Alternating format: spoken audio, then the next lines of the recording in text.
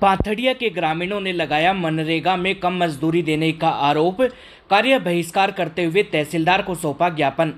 पिलानी पंचायत समिति क्षेत्र की ग्राम पंचायत मोरवा के गाँव पाथड़िया में बुधवार को मनरेगा के अंतर्गत काम कर रहे ग्रामीणों ने कम मजदूरी देने का आरोप लगाते हुए कार्य का बहिष्कार कर दिया। ग्रामीणों का आरोप है कि उन्हें जो काम दिया गया है, उसके लिए कम मजदूरी का भुगतान किया जा रहा है। पाथड़िया गाँव की जोहड़ी में मिट्टी हटाने का काम कर रहे 31 ग्रामीणों का कहना है कि उन्हें जो काम दिया गया है, उसके लिए प्रति व्यक्ति 150 रुपए का भुगतान प्रतिदिन किया जा रहा है, जो कि न्यायोचित नहीं है।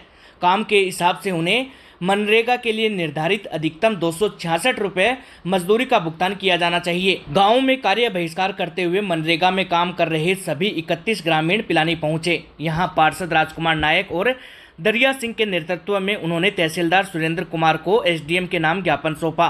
ग्रामीणों ने ज्ञापन में काम के बदले उचित मजदूरी देने की मांग की है। पंचायत समिति जेईएन रियाज चौहान ने बताया कि टास्क के अनुसार मजदूरी का ऑनलाइन भुगतान होता है। काम पूरा हो तो भुगतान भी पूरा होता है। जाँच करवाई जा सकती है। भुगतान गलत नहीं हुआ है। मलसीसर में देर रात कपड़े की दुकान जलकर हुई राख। 80 लाख रुपए के आसपास हुआ नुकसान। मलसीसर कस्बे में बीती देर रात वार्ड नंबर पाँच स्थित एक कपड़े की दुकान में आग लगने से व्यापारी का लाखों रुपए का कपड़ा जलकर राख हो गया। भूदा का बास निवासी अजय कुमार ने चौमाल मार्केट में यह दुकान कर रखी थी। रात साढ़े ग्यारह बजे दुकान मालिक को दुकान से धुआँ निकलता हुआ दिखाई दिया। उसने तुरंत अजय व पुलिस को सूचना दी। दुकान बड़ी होने के कारण बीच में पार्टीशन कर आधी दुकान दूसरे को दे रखी थी। झुंझुनू से पहुँची दमकल ने तीन घंटे की कड़ी मशक्कत के बाद आग पर काबू पाया। बावजूद इसके, सुबह छः बजे तक दुकान में आग जल रही थी। प्राप्त जानकारी के अनुसार आगजनी की इस घटना से दुकानदार को 80 लाख रुपए के आसपास का नुकसान हुआ है। वहीं आगजनी से दूसरी कूलर की दुकान में भी नुकसान हुआ है। पिलानी पुलिस ने नरहड व रामनाथपुरा में अवैध शराब बेच रहे दो लोगों को किया गिरफ़्तार। पिलानी पुलिस ने अवैध शराब के खिलाफ कार्रवाई करते हुए दो लोगों को गिरफ़्तार किया है। पिलानी थानाधिकारी नारायण सिंह के नेतृत्व में गठित टीम ने नरहड में कार्रवाई करते हुए अवैध शराब बेच रहे रविंदर सिंह पुत्र पोकरमल को गिरफ़्तार कर देसी शराब के 48 पौवे जब्त किए हैं। वहीं पुलिस ने रामनाथपुरा में दूसरी कार्रवाई करते हुए कृष्ण कुमार निवासी रामनाथपुरा को गिरफ़्तार करते हुए देसी शराब के 45 पौवे जब्त किए हैं। गिरफ़्तार दोनों आरोपियों के खिलाफ आबकारी अधिनियम में मुकदमा दर्ज कर अनुसंधान किया जा रहा है। डालमिया सेवा संस्थान के तत्वाधान में श्रमदान अभियान से बदली भुखाना गाँव के तालाब की तस्वीर। झुंझुनू ज़िले के विभिन्न गाँवों में वर्षा जल संरक्षण, समन्वित कृषि एवं पर्यावरण संरक्षण के क्षेत्र में कार्य करने वाली रामकृष्ण जयदयाल डालमिया सेवा संस्थान द्वारा बुकाना गाँव में तालाब की तस्वीर बदल दी गई। डालमिया सेवा संस्थान ने सन 2017-18 में निर्मित नंदूवाला जोहड़ में स्थित तालाब के जीर्णोद्धार के बारे में ग्राम विकास समिति व ग्रामीणों से चर्चा की, क्योंकि तालाब में पहले की तुलना में जल आवक क्षमता सीमित हो गई थी। साथ ही इसमें पेड़ पौधे उगाने के कारण पानी की भराव क्षमता भी कम हो गई थी। इन सबको मद्देनजर रखते हुए तय हुआ कि श्रमदान अभियान के तहत तालाब की तस्वीर किस प्रकार बदली जाए, ताकि आगामी बारिश के समय वर्षा जल ज़्यादा से ज़्यादा एकत्रित हो सके और भूजल स्तर में इजाफा हो। संस्थान के परियोजना प्रबंधक भूपेंद्र पालीवाल, प्रशासनिक अधिकारी कुलदीप कुल्हार, जल संसाधन एवं ग्रामीण विकास समन्वयक संजय शर्मा, कृषि एवं वानिकी समन्वयक सुवेंद्र भट्ट एवं बुकाना पूर्व सरपंच जुगलाल जांगिड़ के सानिध्य में एक श्रमदान अभियान रखा गया, जिसके तहत बुकाना नंदूवाला जोहड़ में तालाब का जीर्णोद्धार का कार्यक्रम किया गया। सूरजगढ़ पुलिस व डीएसटी टीम ने हत्या के आरोप में फरार पाँच आरोपियों को 48 घंटे में किया गिरफ़्तार, एक नाबालिग को किया निरुद्ध। सूरजगढ़ पुलिस व डीएसटी टीम ने संयुक्त रूप से कार्रवाई करते हुए हत्या के आरोप में फरार पाँच आरोपियों को गिरफ़्तार करते हुए एक नाबालिग को निरुद्ध किया है। जिला पुलिस अधीक्षक राजश्री राज ने गुरुवार को अपने कार्यालय में प्रेस वार्ता कर जानकारी देते हुए बताया कि झुंझुनू के सूरजगढ़ थाना क्षेत्र में 15 मई को कालूराम ने रिपोर्ट दर्ज करवाई थी कि उसके भाई रामेश्वर बलोदा, जो कि बाज़ार से सब्ज़ी लेकर घर जा रहा था। रास्ते में जेठू राम नायक निवासी बलोदा उसे अपनी गाड़ी में बैठाकर ले गया। उसके बाद उसकी लाश को उसके घर के सामने पटक कर चले गए।